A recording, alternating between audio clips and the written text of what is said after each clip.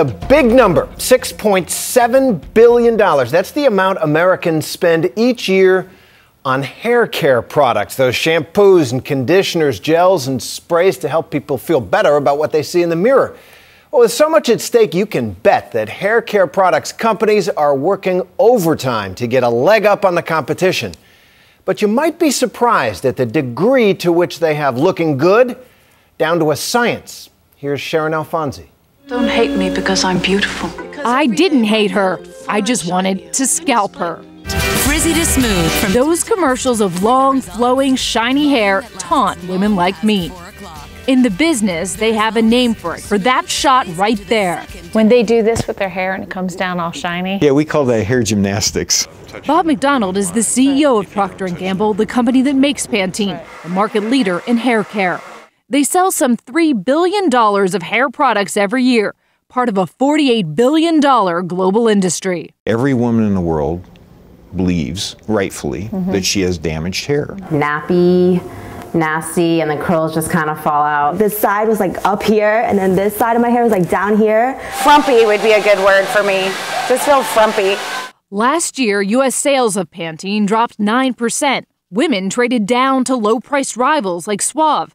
Pantene is hoping to win back those thrifty women and those who are willing to pay anything for good hair. Anything from a straw to a paintbrush. Women, in fact, like me. My bad hair days have been captured on camera for 15 years. To deal with my big hair in Mississippi, I used a big scarf.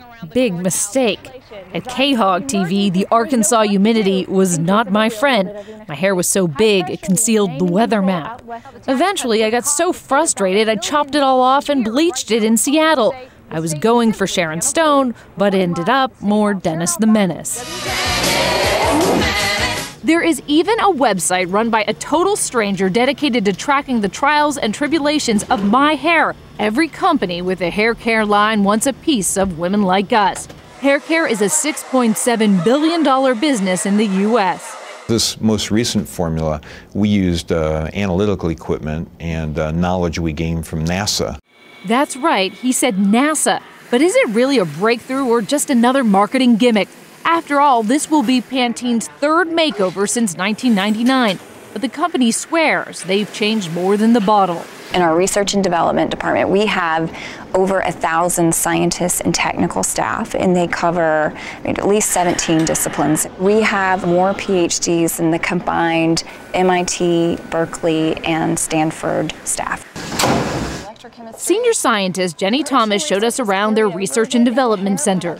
We've had to introduce a lot of new instruments to learn more and more. So, for example, an atomic force microscope is one that NASA was putting onto their Phoenix lander to study the surface of Mars. And soon after that, we brought it in to study how hair interacts with ingredients. What they were using to study Mars, you're using to study hair. Yes. This image here of your hair. This is my hair. This you is your hair. earlier. This is eight, 800 times magnification. Okay. And you know what How does my see hair here, look? It's it's not bad.